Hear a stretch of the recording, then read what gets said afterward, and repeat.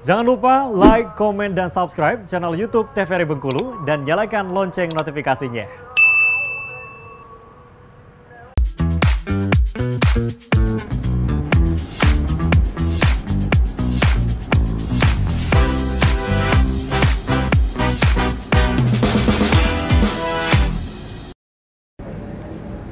Balik lagi di opini obrolan pas di sini pemirsa masih dengan tema dan juga orang yang sama nih dan kita masih membahas mengenai seputaran dunia arsitek dan ternyata semenarik itu ya Pak Reki ya Iya. mengenai dunia arsitek ini ya unik dan banyak juga pengetahuan-pengetahuan yang oh ternyata seperti ini yang kita awam nggak tahu nih sebelumnya.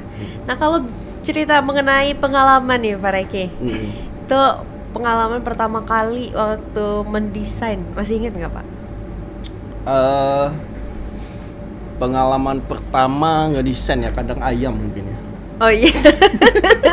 itu sebelum itu sebelum kuliah deh kayaknya. iya, kandang ayam karena karena kita dulu ada apa ya, ada anekdot anekdot gitu kan.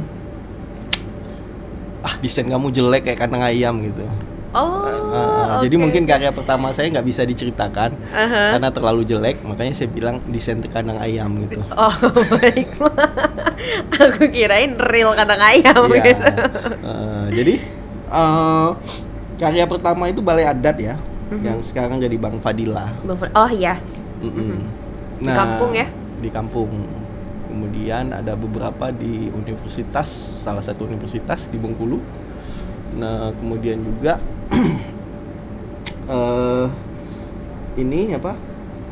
eh panggung budaya yang di kampung. Panggung budaya. Panggung tabot. Baik, ya. Mhm. Ya, sampai sekarang ini digunakan ya. Mm-mm.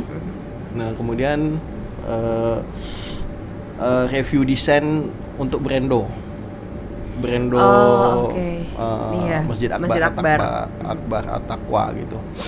Ya selebihnya itu ya kecil-kecil sih rumah-rumah tinggal kayak gitu ruko ya. Tapi siapa tuh yang yang bilang desain kandang ayam itu waktu di awal itu? Eh, teman, Oh teman, sama-sama arsitek. iya supaya meruntuhkan kepercayaan diri.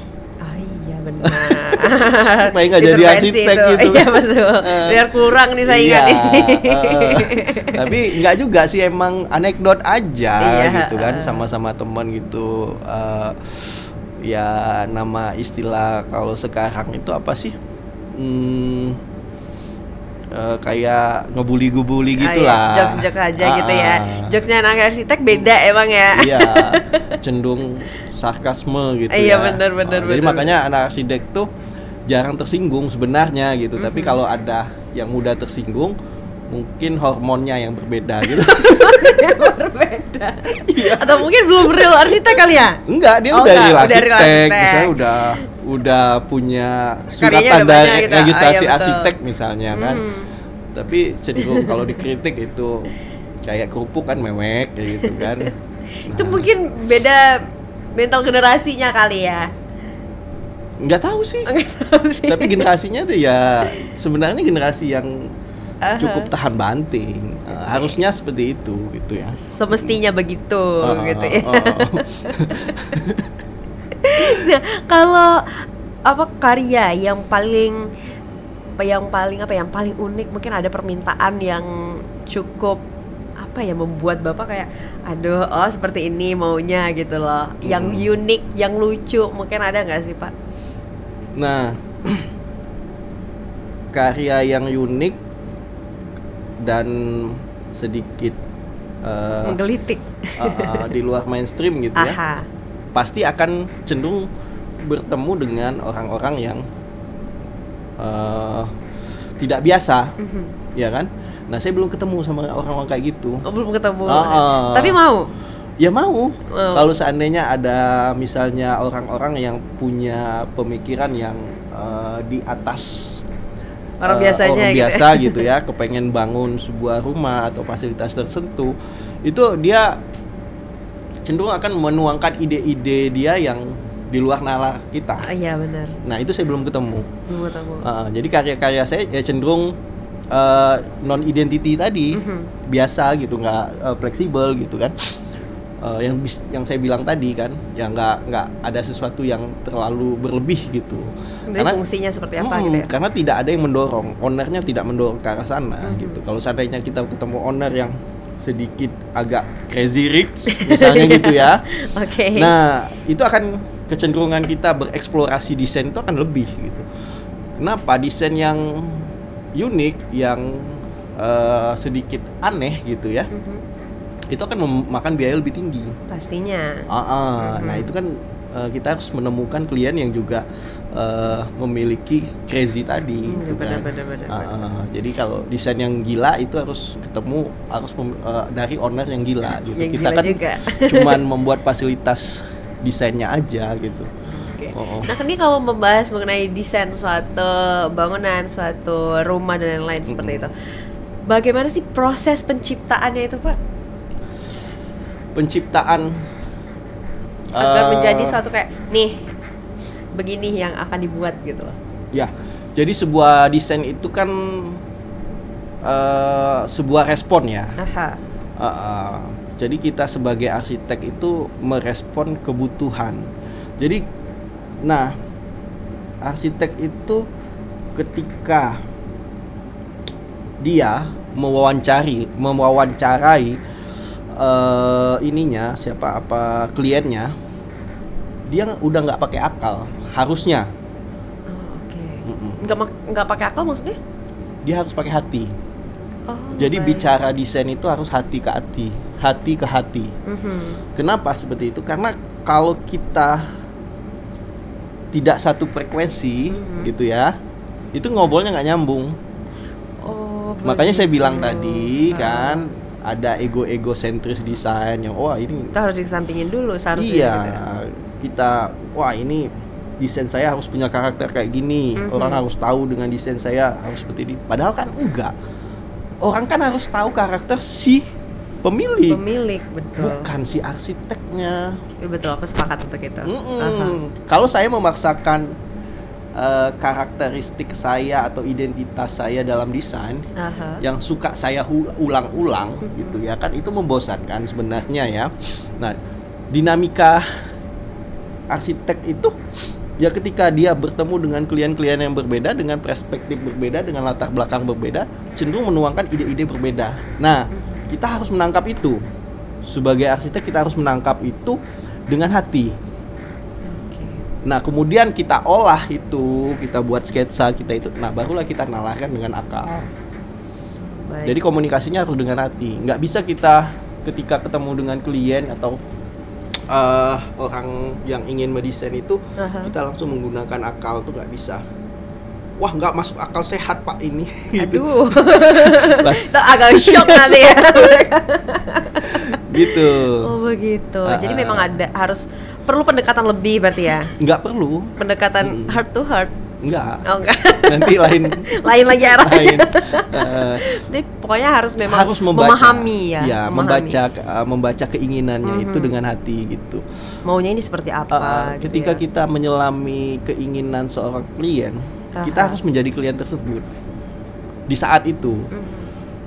Nah, menyamakan posisi artinya. menyamakan persepsi. Persepsi ya, baik. Mhm. Jadi persepsi tentang desain itu disamakan dengan komunikasi yang dari hati ke hati gitu. Mhm. Ya cuman tetap harus dalam rangka yang desain ya. Iya, tetap konteksnya Iya, kontekstualnya. tetap di jalur normal ya. Iya, tetap kontekstualnya desain. Iya, gitu. betul, betul, Ah, betul, betul, betul, betul. Lewat dari situ. Jangan lewat dari situ. Nggak pernah kan Pak tapi ya? Nggak, nggak. Aman. Istrinya nonton ya? Iya. Jadi kontekstualnya harus eh, ada rangka gitu. Aha, Oke. Itu perlu waktu kalau kita bahas eh, tentang waktunya. Mm. Perlu waktu berapa lama berarti untuk penciptaan itu? Ini berbeda-beda sih tapi pasti ya. Saya seminggu bisa sih.